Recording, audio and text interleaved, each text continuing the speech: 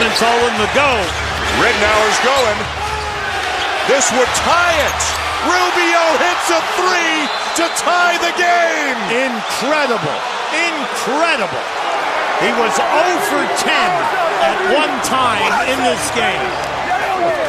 In this quarter, he's just been absolutely sensational. Not only with the passes, he's got nine points after going 0 for 10.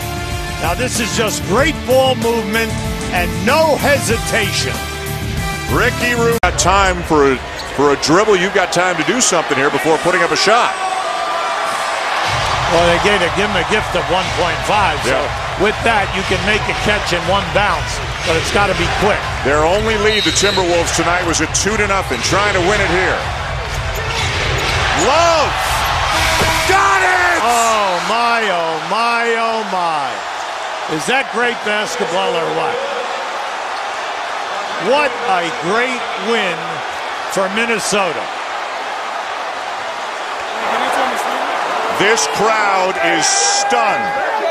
Kevin Love with a game-winning three as the Timberwolves rally from 15 down and defeat the Clippers here in Los Angeles.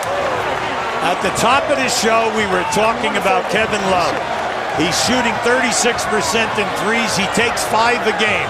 There was no hesitation. There he is on a step back.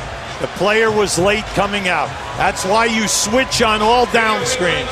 You switch on down screens and you come out and play that man tough. Look how open he is on the catch. All right. See, no switch on that Yeah. play, and the defender got caught down inside. DeAndre Jordan could not get through the screen set by the two guards, Ellington and Rubio, and Love had a wide open look, and he is a he's a good three-point shooter, 36% on the season from beyond the arc, and he hits the game winner at the buzzer here in LA. What a game. It was a terrific game. And